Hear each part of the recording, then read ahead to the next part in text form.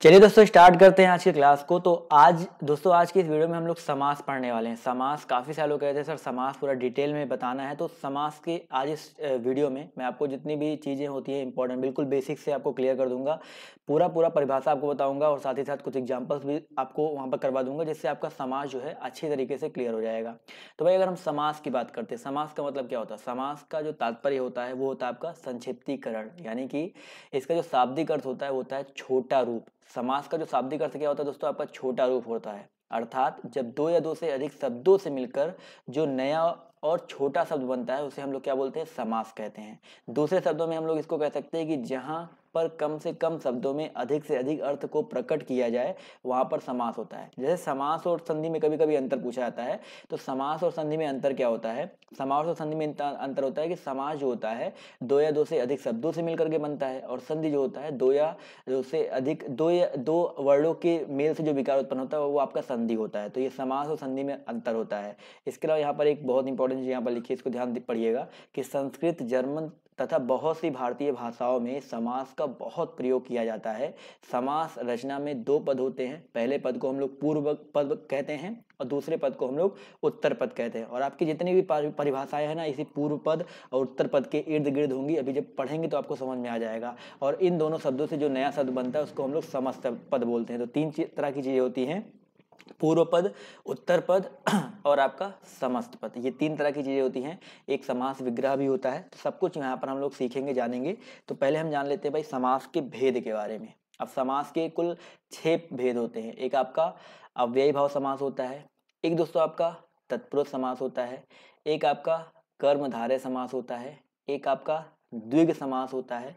और एक आपका दोस्तों द्वंद्व समास होता है। और एक आपका बहुवरी समास होता है। तो सबको जानेंगे अव्ययी भाव समास क्या होता है तत्पुरुष समास क्या होता है कर्मधारय समास क्या होता है द्विग समास क्या होता है द्वंद्व समास क्या होता है बहुवरी क्या होता है सब कुछ एक एक पॉइंट हम लोग यहाँ पर जानते हुए चलेंगे। तो यहाँ पर सबसे पहले हम चलेंगे अव्ययी भाव समास की तरफ़। अब देखो यहाँ पर ए, एक तो ये छह चीज़ें हो गई और कभी कभी आपके पेपर में पूछा जाता है, ये बहुत इंपॉर्टेंट बहुत सारे लोग नहीं जानते हैं, बहुत सारी किताबों में भी आपको ये देखने को नहीं मिलेगा कि भाई प्रयोग की दृष्टि से समास के कितने भेद होते हैं। प्रयोग की दृष्टि से तो प्रयोग की दृष्टि से समास के तीन भेद होते हैं, संयोग मूलक, इसके अलावा आपका आश्रय मूलक समास और आपका वर्णन मूलक समास। तो ये प्रयोग की दृष्टि से ये भेद होते हैं। अब हम बात करेंगे दोस्तों, सबसे पहले समास, यानी कि अव्यय भाव समास के बारे में, कि अव्यय भाव समास आपका क्या होता है? अगर हम बात करते हैं अव्यय भाव समास के बारे में तो याद रखना इसकी परिभाषा क्या है, कि इसमें जो पहला पद, यानी कि जो प्रथम पद होता है, हमने बताया ना, समास विग्रह में दो पद होते हैं, जैसे राजपुत्र। एक ऐसे समझो राजपुत्र। अभी अभी बहुत सका समाज का उदाहरण दे रहा हूँ। अभी राजपुत्र तो राजा का पुत्र। तो दो यहाँ पर पद हो गए। प्रथम पद, उत्तर पद। दो तरह के पद होते हैं तो यहाँ पर याद रखिएगा। अव्यय भाव समास में प्रथम पद आपका अव्यय होता है और उसका अर्थ क्या होता है? प्रधान होता है। उसे अव्यय भाव समास कहते हैं। यानी कि पहला अव्यय भाव समास में दो पद उत्तर पद और प्रथम पद में पहला पद अव्यय और वही प्रधान भी होता है और वही अव्यय समास कहलाता है। और इसमें अव्यय पद का जो प्रारूप होता है, वो आपका लिंग, वचन, कारक में नहीं बदलता है, वो हमेशा एक जैसा रहता है। यानी कि अव्यय का मतलब यही होता है अव्यय का मतलब क्या होता है कि इसका लिंग वचन कारक कोई प्रभाव ना पड़े। समझ में आ रहा है ना? जैसे दूसरे शब्दों में उसको कह सकते हैं कि यदि एक शब्द की पुनरावृत्ति हो और दोनों शब्द मिलकर अव्यय की तरह प्रयोग हो, वहाँ पर अव्यय भाव समास होता है। यानी कि एक शब्द की पुनरावृत्ति हो दिनों दिन दिन दिन आपने सुना है ना? प्रतिदिन। इसके अलावा उसी को हम लोग अव्यय भाव समास कहते हैं और संस्कृत में जो उपसर्ग होता है उपसर्ग युक्त पद भी आपका अव्यय भाव समास माने जाते हैं। अब देखो कुछ एग्जाम्पल्स देख लेते हैं, आपको एग्ज़ाम्पल के बाद समझ में आ जाएगा। जैसे कि यहाँ पर यथाशक्ति। सारे के सारे जो यहाँ पर मैंने एग्ज़ाम्पल आपको दिए हैं, ये सारे बहुत इंपॉर्टेंट एग्जाम्पल्स हैं और आपके पेपर में ये एग्जाम्पल्स कई बार पूछे गए हैं तो ये एग्ज़ाम्पल एक बार अच्छे से सारा देख लीजिए, सारा समझ लीजिएगा। जैसे आपका यथाशक्ति तो हमेशा याद रखिए, कभी आपके अव्यय समास पहचानने का एक तरीका ये होता है कि आपकी यथा और आ ऐसे कुछ वर्ड होते हैं जो हमेशा अव्यय समास में पहले लगते हैं। तो यथाशक्ति, इसका ये समास है, पूरा समास, समस्त पद है और इसका समास विग्रह करेंगे तो शक्ति के अनुसार। तो यहाँ पर शक्ति देखो एक अव्यय टाइप का है और ये प्रधान भी है। तो यहाँ पर ये जो है इसको हम लोग किसी भी चीज़ में बदल भी नहीं सकते। शक्ति पुरुष के लिए भी यानी कि लिंग में इसका परिवर्तन नहीं होगा, कारक में परिवर्तन नहीं होगा। तो ये यथाशक्ति आपका अवयव समाज का उदाहरण है। इसी तरह यथाक्रम।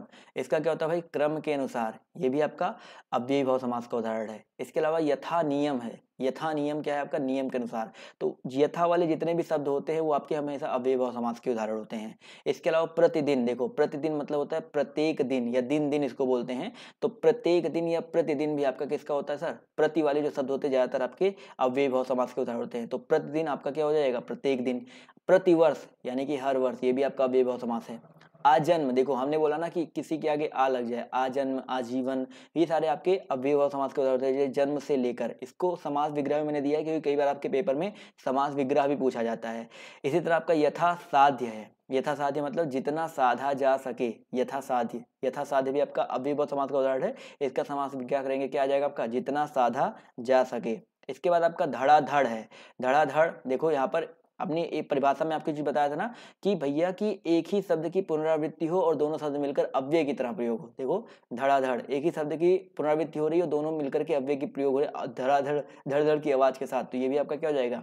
अव्यय भाव समास हो जाएगा। अब देखिए, यहाँ पर भी आवृत्ति हुई है ना घर घर तो दोनों शब्द रिपीट हुए हैं घर घर पुनरावृत्ति हुई है और यहाँ पर प्रत्येक घर हो जाएगा इसका समाज ये भी आपका अव्यय भाव समास का उदाहरण है। इसी तरह रातों रात यानी कि रात ही रात में हो जाएगा। आमरण, यानी कि मृत्यु तक। तो देखो यहाँ पर आ लग गया है तो आपका ये भी अव्यय समाज का उदाहरण हो गया। इसी तरह दोस्तों आपका यथा काम है यथा काम देखो यथा लग गया ना, और इच्छा अनुसार इसको बोलते हैं, ये समाज विग्रह है, और ये भी आपका किसका? अव्यय सारे के सारे आपके अव्यय समाज के उदाहरण है। जल्दी जल्दी देख लेते हैं। यथा स्थान तो यथा स्थान यानी कि स्थान के अनुसार। अभूतपूर्व। यानी कि जो पहले नहीं हुआ हो। इस, ये भी आपका अभूतपूर्व आपका हो गया। निर्भय, कई बार आपके पेपर आया निर्भय, यानी कि बिना भय के।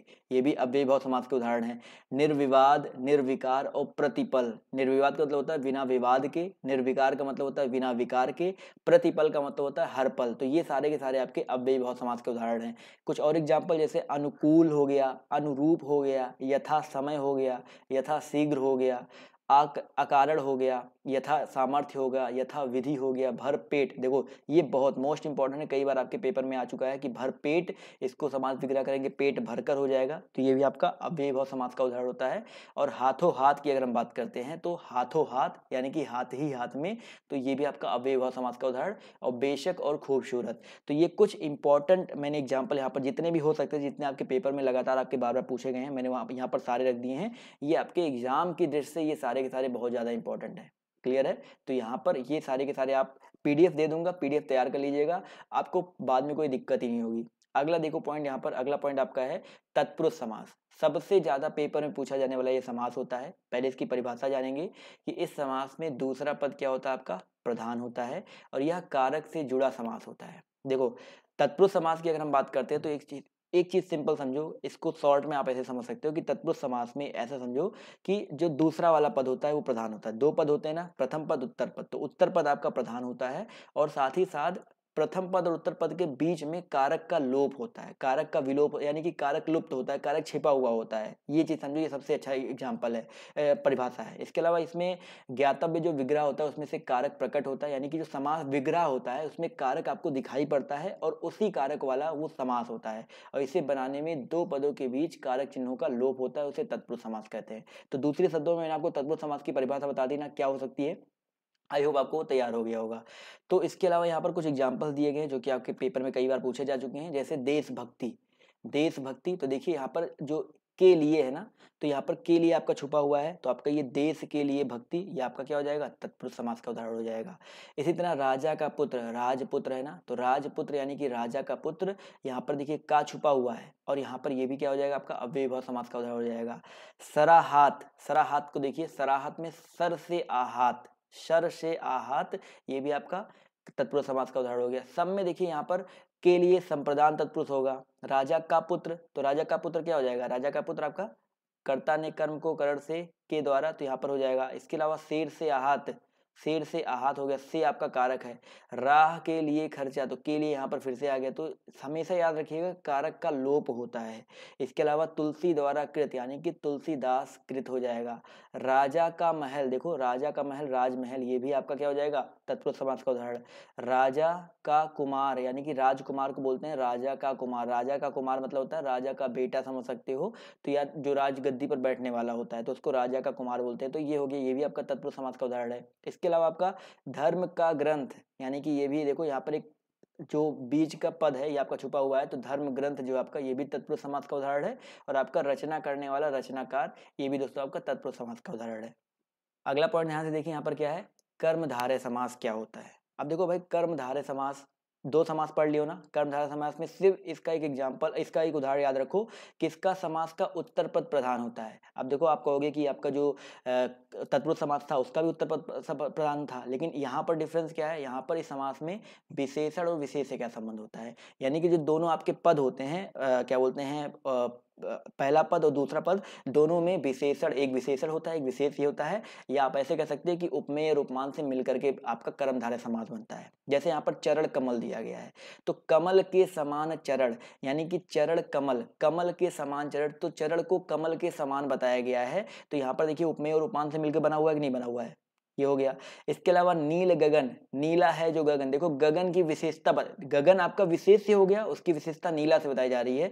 तो विशेषण और विशेष से मिलकर बनाया ना, नीला है जो गगन। तो सबसे आसान ये होता है भैया, सबसे आसान समाज ये होता है। इसी तरह चंद्रमुख तो चंद्र जैसा मुख, देखो उपमेय उपमान तो मुख की मुख की विशेषता बताई जा रही है या मुख को बताया जा रहा है, मुख की तुलना की जा रही है, चंद्रमा जैसा है। तो ये भी आपका चंद्रमुख भी आपका कर्मधारय समाज का हो जाएगा। तो दो चीज़ें दिमाग में रखिएगा कि आपका उपमेय उपमान से मिलकर बनता है और विशेषण और विशेष से मिलकर बनता है। तो ये दो चीज़ें अपने दिमाग में हमेशा रखिएगा। क्लियर है? इसी तरह पीताम्बर पीत है जो अंबर, यानी कि अंबर की विशेषता बता रहा है कि वो पीला है, पीत है, महात्मा, महान है जो आत्मा आत्मा के बारे में बताया जा रहा है कि वो महान है, लाल है जो मणि, लाल मणि इसके अलावा आपका महान है दो महान है जो देव, महादेव तो महादेव के बारे में बोला जाए तो ये भी आपका क्या होता है, कर्मधारय समास होता है, और देह लता, देह रूपी लता, ये भी आपका कर्मधारय समास के अंतर्गत आता है तो बताइए सर, कर्मधारय समास में कोई डाउट है, किसी को कोई क्वेश्चन पूछना है?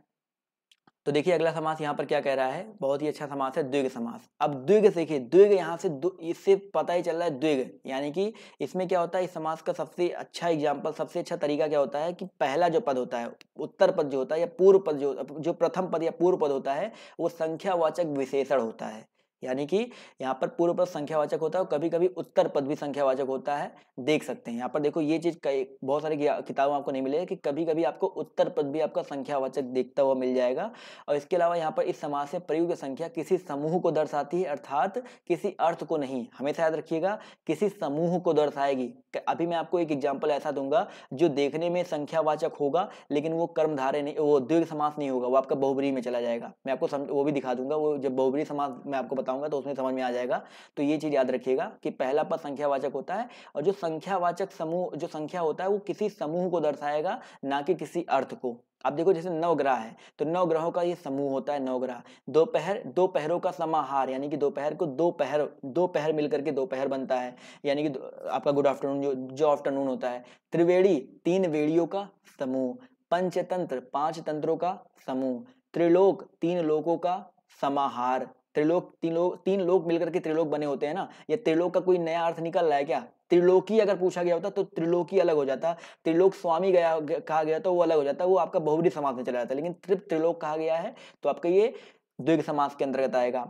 शताब्दी की अगर हम बात करते हैं तो सौ शब्दों का, सौ शताब्दी का मतलब क्या होता है? सौ अब्दों का समूह होता है। तो ये भी एक समूह है। इसके अलावा पंसेरी मतलब क्या होता है? पाँच शेरों, शेर नहीं है, शेर है ये तो पाँच शेरों का समूह होता है पंसेरी और सत सही देखो ये बहुत इंपॉर्टेंट लोग यहाँ पर गलत कर रहे हैं सत सही का अर्थ क्या होता है? सात सौ पदों का समूह। तो सत सही का कई लोग, आपने सत सही आपने वो भजन वज़न में देखा होगा सत सही होता है। तो सत सही का मतलब होता है सात सौ पदों का समूह, इसके अलावा चौगुनी यानी कि चार गुनी तो ये हो गया आपका द्विग समास। क्लियर है दोस्तों? आप सभी को द्विग समास क्लियर है? आगे की ओर बढ़ा जाए।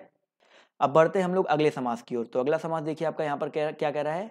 द्वंद्व समास। अब द्वंद्व समास देखो क्या है? द्वंद्व समास लग ही रहा है पढ़ने से लगे द्वंद्व यानी कि दो। यानी कि द्वंद्व समास में क्या होता है? दोनों पद आपके समास होते हैं, यानी कि प्रधान होते हैं। यानी कि इस समास में दोनों पद ही आपके प्रधान होते हैं। इसमें किसी भी पद का गौड़ नहीं होता है। कोई भी पद आपका गौड़ नहीं होता है। और ये दोनों पद एक दूसरे पद के विलोम होते हैं, लेकिन ये हमेशा नहीं होता है। हमेशा याद रखिएगा, एक चीज़, हमेशा, एक चीज़ इसमें हमेशा होता है कि दोनों पद आपके क्या होते हैं? प्रधान होते हैं। दोनों पद आपके क्या होते हैं दोस्तों? प्रधान होते हैं। इसके अलावा यहाँ पर एक दोनों पद एक दूसरे के विलोम होते हैं लेकिन ये हमेशा नहीं होता यानी कि दोनों जो होते हैं एक दूसरे के विलोम होते हैं लेकिन ये चीज़ हमेशा नहीं होती है और इसका समास विग्रह करने पर अथवा या योम योम का प्रयोग होता है। हमेशा इनके बीच में एक ये योजक का चिन्ह भी लगा होता है ये भी याद रखिएगा। हमेशा ये नहीं होता है बट योजक का चिन्ह लगा होता है उसे दोनों समास कहते हैं। जैसे आपका ये जलवायु तो जल और वायु देखो दोनों आपके प्रधान हैं। लेकिन यहाँ पर क्या जल और वायु में अगर देखा जाए तो ये हवा, पानी ये एक दूसरे के विलोम मान सकते हो, अपना पराय। देखो एक दूसरे के विलोम है और यहाँ पर बीच में या लगा हुआ है तो दोनों पद प्रधान है। पाप और पुण्य एक दूसरे के विलोम है ना, और यहाँ पर दोनों आपके प्रधान भी हैं, राधा और कृष्ण। तो राधा और कृष्ण, देखो, क्या एक दूसरे के विलोम है? नहीं विलोम विलोम नहीं कह सकते ना? तो यहाँ पर देखो, हमेशा एक दूसरे के विलोम नहीं होते तो राधा कृष्ण हो गया, अन्न और जल हो गया, नर और नारी, नर नारी हो गया। तो सब में देखिए, एक बीच में आपका योजक चिन्ह लगा हुआ, नदी नाले हो गया, अमीर गरीब हो गया, देश विदेश हो गया, गुड़ और दोष हो गया। तो बताइए दोस्तों, क्या आपको इसमें कोई भी डाउट है? क्या आपको द्वंद्व समास में किसी को कोई भी डाउट है? तो देखिए अगला यहाँ पर द्वंद समास के बाद आता क्या आपका सबसे आखिरी है बहुबरी समास। बहुबरी समास हम लोग देख लेते हैं फिर बहुबरी समास पढ़ने के बाद हम लोग सीधे बढ़ेंगे किसकी तरफ़? हम लोग बढ़ेंगे किसकी तरफ़? एम की तरफ़। बहुबरी समास क्या होता है देखो इस समास में कोई भी पद आपका प्रधान नहीं होता है। कोई भी पद प्रधान नहीं होता ये चीज़ याद रखिएगा कोई भी पद आपका प्रधान नहीं होता है। और यहाँ पर कह रहा है जब दो पद मिलकर तीसरे पद बनते हैं यानी कि दोनों पद प्रधान नहीं होते और दोनों पद मिल, मिल करके किसी तीसरे पद की ओर इंडिकेट करते हैं और इसका विग्रह करने वाला है वाला है जो जिसका, जिसकी, जिसके, वह, आदि आते हैं, वह बहुबरी समास होता है। अब देखो, जैसे इसका समास विग्रह करोगे तो उसमें वाला शब्द मिलेगा, है शब्द मिलेगा, जो शब्द मिलेगा, जिसका शब्द मिलेगा, जिसकी शब्द मिलेगा, जिसके शब्द मिलेगा और वह शब्द मिलेगा। तो ऐसे शब्द आपको यहाँ पर देखने को मिलते हैं बहुवरी समास में। अब देखो, यहाँ पर बहुवरी समास में मैं आपको पहले इस वाले ऑप्शन पर ध्यान देना। मैंने यहाँ पर बहुत सोच समझ के इस ऑप्शन को यहाँ पर लिया है। लोग यहीं पर गलती करके आते हैं। त्रिनेत्र। अब त्रिनेत्र में क्या करते हैं लोग? गलती से द्विग समास लगा के आ जाते हैं। कहेंगे, भैया, त्रि आ गया। लेकिन त्रिनेत्र क्या तीन नेत्रों का समूह होता है? नहीं होता है ना? त्रिनेत्र किसको बोला जाता है? शिव जी को। तीन है नेत्र जिसके, यानी कि शिव जी की बात हो रही है तो ये आपका बहुवरी समास होगा, ना कि द्विग समास होगा। गजानन का मतलब होता है गज है, गज का आनंद है जिसका। तो गज का आनंद किसका होता है? गज का जो मुख होता है वो किसका होता है? गणेश जी का होता है ना? तो देखो दोनों पद प्रधान नहीं है, वो किसी तीसरे की ओर विशेषता कर रहे हैं। इसी तरह नीलकंठ है। अब नीलकंठ, ये यहाँ पर मैं आपको ऑप्शन इसलिए दिया हूँ क्योंकि नीलकंठ में आधे ज़्यादातर लोग क्या होते हैं ना लगा के आ जाते हैं कर्मधारे समास, लेकिन ये कर्मधारे समास नहीं है। नीला है कंठ जिसका, यहाँ पर कंठ की विशेषता भले ही बताई जा रही नीला, लेकिन ये एक को दोनों प्रधान तो नहीं है ना? यहाँ पर देखो कर्मधारय समास में क्या होता है कि उपमेय और उपमान या कर्म आ, क्या बोलते हैं उसकी बताई जाती है। विशेष और विशेष से क्या होता है? लेकिन यहाँ पर दोनों प्रधान देखो नील और कंठ दोनों प्रधान है। तो यहाँ पर इसलिए आपका ये क्या हो जाएगा? बहुवरी समास के अंदर आएगा। कभी कभी इसको लोग अपवाद भी बोलते हैं। तो ये बहुत इंपॉर्टेंट है इसको याद रखिएगा। इसी तरह लंबोदर लंबा है उधर जिसका जिसको गणेश जी बोलते हैं ये भी आपका क्या होगा? बहुवरी समास हो जाएगा। और दस आनंद दस है आनंद जिसके यानी कि रावण को हम लोग दसानंद बोलते हैं। तो ये भी आपका बहुवरी समास हो जाएगा। चतुर्भुज यानी कि चार भुजाओं वाले कौन? विष्णुदेव जी होते हैं तो इनको चतुर्भुज यानी कि चार भुजाओं वाला विष्णुदेव हो जाएगा। और पीताम्बर पीला है वस्त्र जिसका। देखो पीताम्बर देखो पीताम्बर यहाँ पर ये बहुत ज़्यादा कई कई कई किताबों में आपका बहुबरी में लिखा गया है और बहुत सारी किताबें देखिए यहाँ पर मैंने यहाँ पर भी आपको शायद बताया होगा। देखिए पीताम्बर ये पीत है जो अंबर, कर्मधारय लिखा गया है। लेकिन UP triple C UP P S आयोग की बात करते हैं तो ज़्यादातर वो बहुबरी में मानता है। तो बहुबरी में आप लोग रखिएगा, बट आपकी डिपेंड करता है आपके क्वेश्चन के ऊपर। और ज़्यादातर जब भी आपके सामने ये पीताम्बर वाला ऑप्शन होता है तो बहुबरी या कर्मधारय में से कोई एक ही ऑप्शन होता है। तो ये चीज़ हमेशा दिमाग में रखिएगा। तो ये हो गए छः के छः समास। तो बताइए, सब आप सबको क्लियर है? मज़ा आ गया ना? छः के छः समास पढ़ने में?